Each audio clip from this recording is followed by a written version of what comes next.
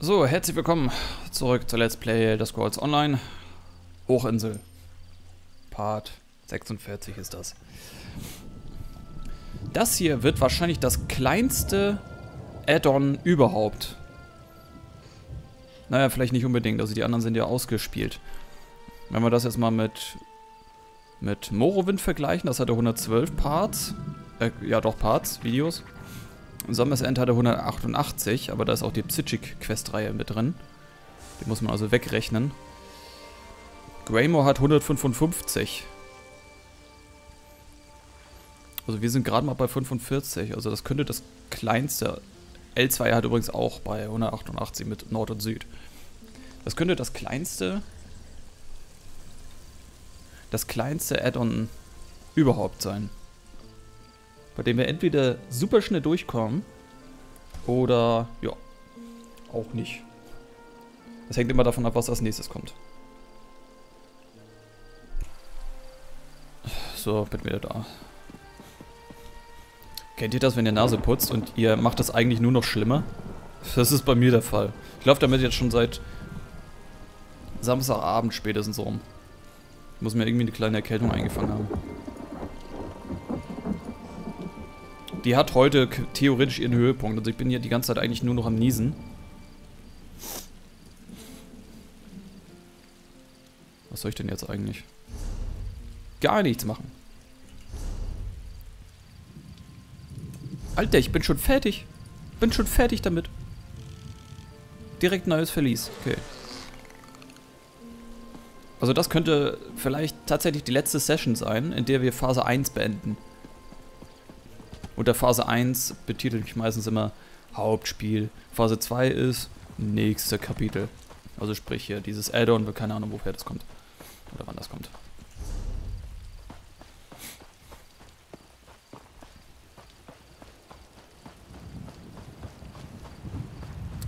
Das ist eigentlich zur Abgrenzung.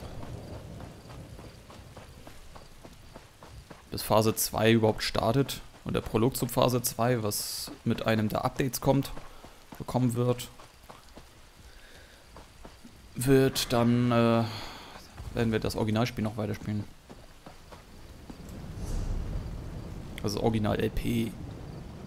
Da muss ich hin. Da muss ich hin. Wie sieht es inventartechnisch aus? Das ist nicht Inventar, das ist die Freundesliste, die 1000 Jahre alt ist. Äh.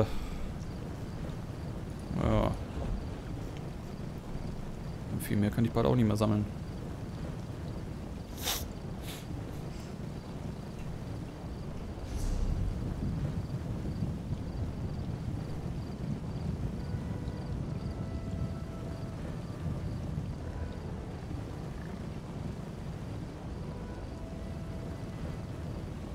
Oh Mann, ey. Wenn das so weitergeht, muss ich... Kann ich nicht LPen.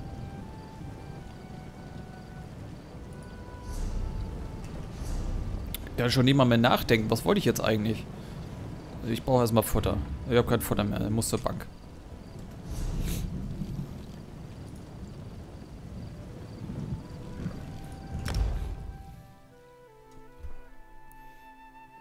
Boah, ich glaube, ich werde krank. Ich habe die... Irgendein Stream bei mir, der könnte noch online sein. Der müsste eigentlich noch online sein. Ganz, ganz alt. Anno 2207? 08, keine Ahnung wie das heißt, Spiel. Schon vergessen. Das ist das äh, vom damaligen Sovi Winter Event, wo ich mitgemacht habe. Wo verschiedene Streamer dabei waren und das, das Gebiet ist ja scheiße. Wo ist der Eingang der Bank? Da. Nee, das ist ja doch nicht der Eingang. Ist das der Eingang? Ja. Nee, sie nicht. Ist das die Bank? Ja, doch. Ich kann mich nicht entscheiden, ob mir... Ich kann mich auch nicht entscheiden. Äh, das ist das legendäre... Der legendäre Stream, wo ich krank wurde.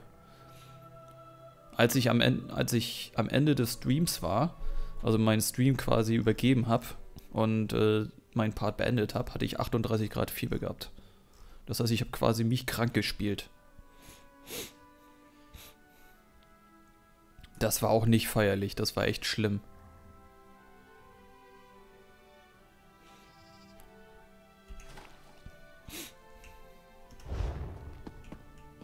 Sind Harrys Pasteten, die ich gerade geholt habe.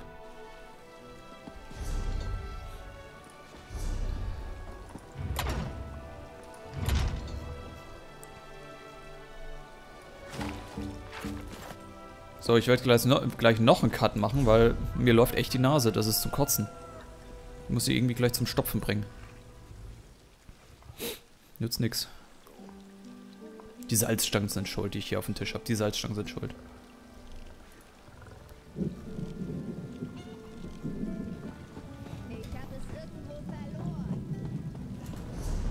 Aber ihr, mich nervt das halt die ganze Zeit, wenn ich mich selbst stiefen hören würde. Das, ne. Was jetzt zum Beispiel auch der Fall sein würde. Okay. Wie macht das eigentlich äh, hier die Fernsehsendung, die Fernsehshows? Wie machen die das eigentlich, wenn die Moderatoren Schnupfen haben? Werden die ausgetauscht oder müssen sie es auch durchziehen? Oder kriegen sie irgendwie äh, spezielle Mittel? Ich habe super selten wenn mal hochkommt, einen Moderator mit einer laufenden Nase oder so gesehen.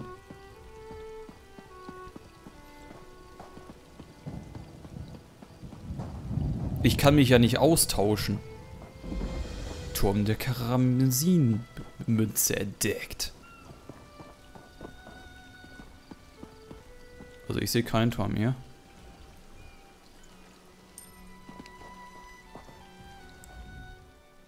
Abenteurer. Ich danke jedem einzelnen Göttlichen, dass ihr hier seid. Ich bin ein Knappe ohne seine Ritterin. Sie braucht unsere Hilfe. Was geht hier vor sich? Dame Madach und ich streben danach, den Blutmagier zu erschlagen, der in diesem uralten Bauwerk haust. Ich habe uns mit Hilfe umfassender Nachforschung auf die vor uns liegenden Prüfungen vorbereitet. Aber jetzt, da wir hier sind, verbat sie mir das Versteck dieses Unholds zu betreten. Warum wollte sie nicht, dass ihr den, dass ihr den Turm betretet? Sie hat einen recht eigenwilligen Stil der Mentorschaft. Allerdings befürchte ich, dass es für eine Person allein schwierig sein könnte, den Schurken herauszufordern und meine Erkenntnisse zu nutzen. Wenn ihr mit dem Boot übersetzt und ich euch folge, das könnte sie mir sicher nicht verübeln. Schon verstanden, gut. Knappe, ihr kommt mit mir. Hervorragend.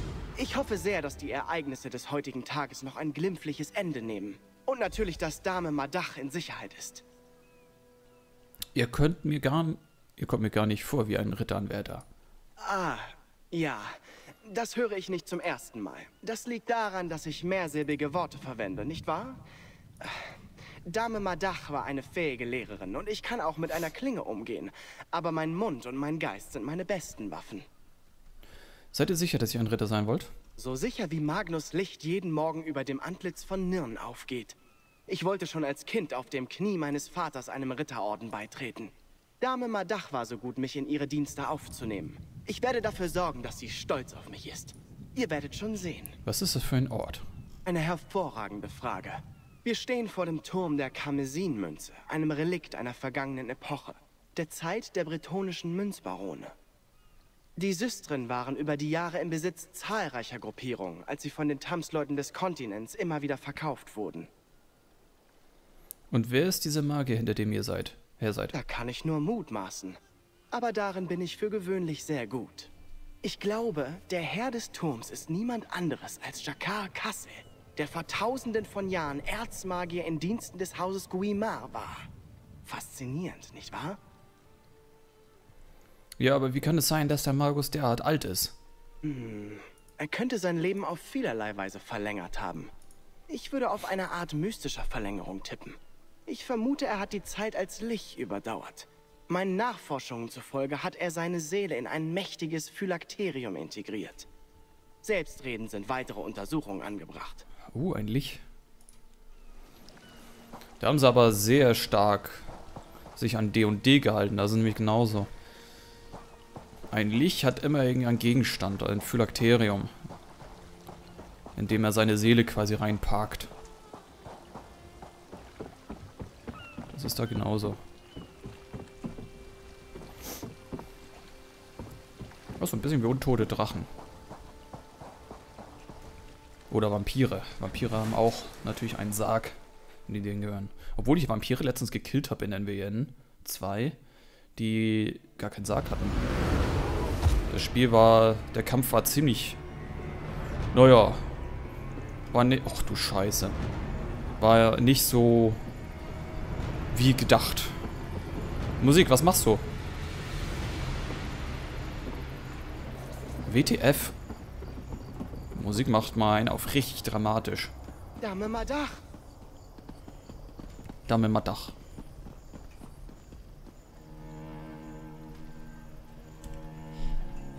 Sieht schon böse aus eigentlich. Wenn man diese ganzen Durchsturzflacken wegnimmt,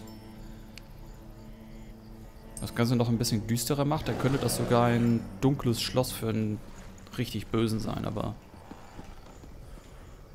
Ja. Hab ich eigentlich...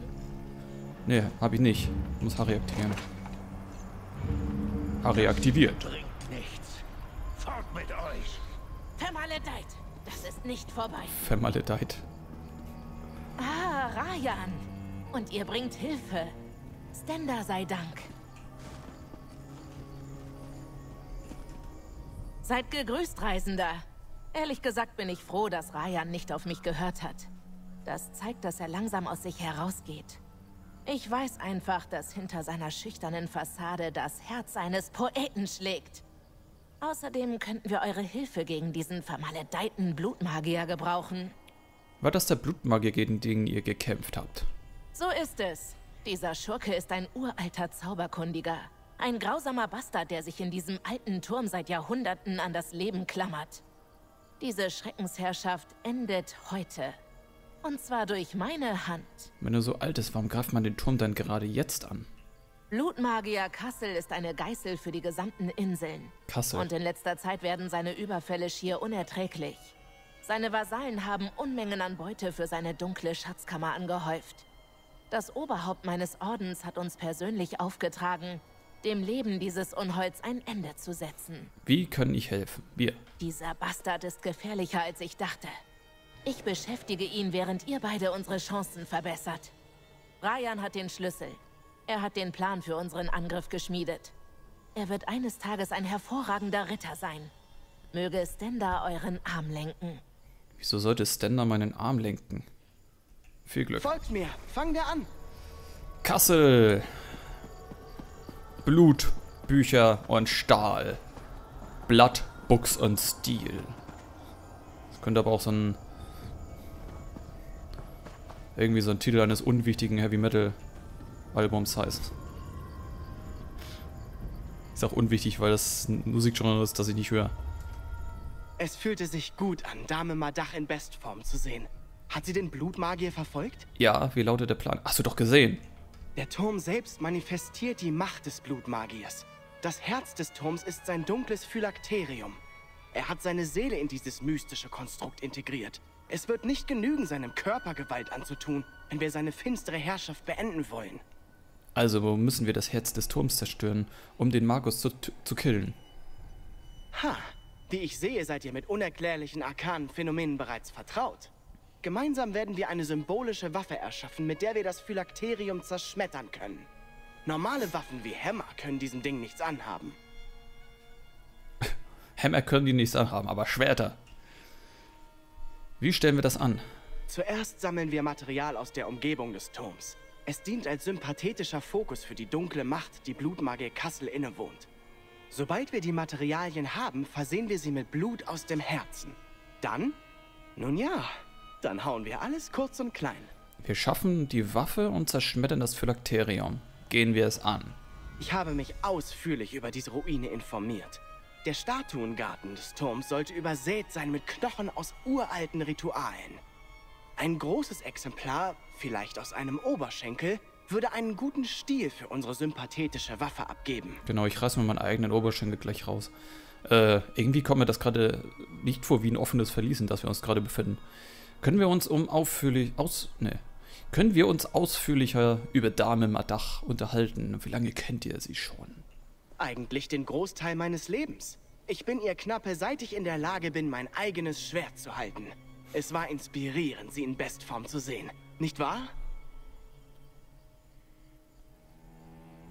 Sie ist etwas ungewöhnlich für eine Retterin.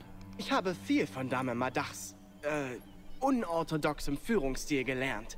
Sie glaubt fest daran, dass man Knappen alles abverlangen muss, damit sie besser werden. Wie sie so gern sagt, ich bin nicht euer Hauptmann, Kleiner. Macht euch selbst einen Reim darauf. Ha. Warum seid ihr froh, dass sie in Bestform ist? Sie war eine Weile krank, erst vor kurzem. Das ist jetzt sicher vorüber. Sie ist eine derart vitale Präsenz, ob nun auf dem Schlachtfeld oder auf der Bühne. Sehen zu müssen, wie sie kaum eine Klinge schwingen kann, war ein herber Schlag. Ganz anders als heute. Ha. Ein herber Schlag war auch für mich heute etwas. Ich habe eigentlich die ganzen Original-LPs rüberladen wollen. Das sind 230 Gigabyte an Daten. Also alles Videos, Session pff, 230 bis 290 oder sowas. Von dem Original. Das wollte ich halt sichern.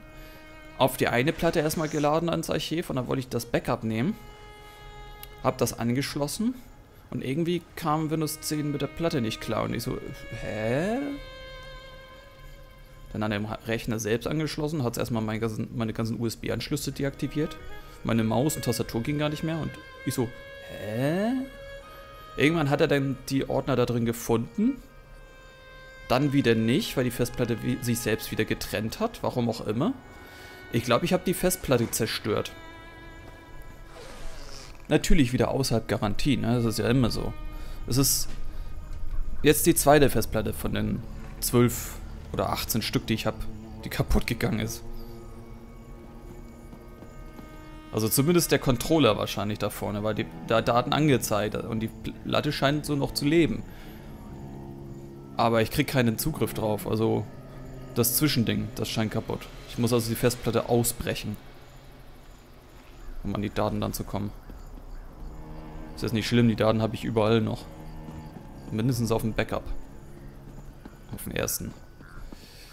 Ach, darf ich mir eine neue 4 Terabyte Platte kaufen.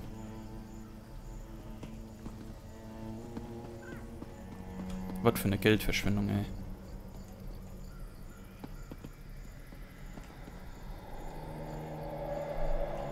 Wie groß ist denn das eigentlich? Das sieht ja sehr interessant aus. Gehen wir zurück zur Statuenhalle im nordwestlichen Bereich der Gärten. Dort sollten wir eine Menge Knochen für unseren Zweck finden. Wisst ihr was, das machen wir beim nächsten Mal. Vielen Dank fürs Zusehen. Ciao, ciao.